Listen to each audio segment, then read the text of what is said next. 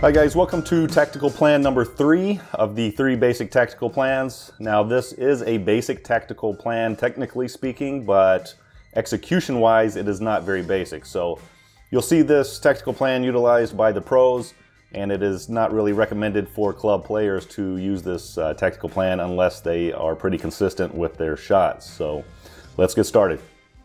Okay, so we just uh, covered two tactical plans. This is the third basic tactical plan, and I only call this a basic tactical plan because it is one of the uh, more common tactical plans that you'll see the pros do a lot. I do not recommend this for club curlers per se, unless you have confidence in your team that you can execute these shots.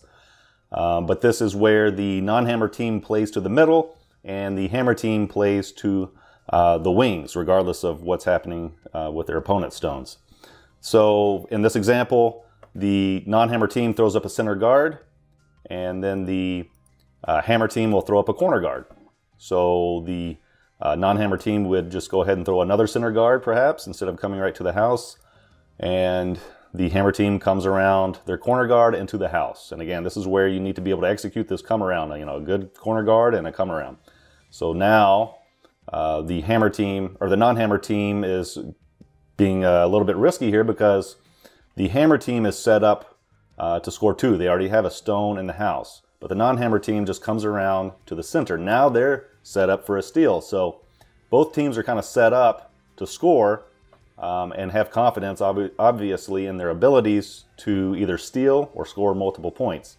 The hammer team needs to have confidence that their team can make double runbacks. In order to execute this tactical plan, your team needs to be, be able to make double runbacks in order to open this up uh, to get at that uh, stone on the button. Or if maybe it's poking out a little bit, you know, again, you're banking on your team not being able to execute this, your opponent not being able to execute this so you can come around, bump this out or something. So what happens here is they make the double run back. Great. They move their stone out of the way. Um, so the non-hammer team throws up another center guard. And then the hammer team, great, another double run back. So they executed well. They've opened it up. They have a stone in the house. They're definitely set up to score two here. But let's say, for example, we go back and they made um, a double run back, but now they need to make this second double run back. And let's say they miss it. They kind of hit it on the nose a bit and it shoots, let's say it just shoots by here between this port. And now they're just off center with that stone.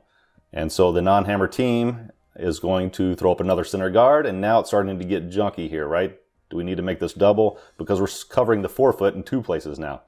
So we're running out of stones and there's getting set up to steal and we're starting to junk up the center.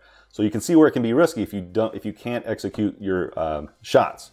So again, this is a basic tactical plan of where the non-hammer team plays to the middle and the hammer team plays to the wings. You'll see the pros doing it a lot and you'll see club players trying to execute it.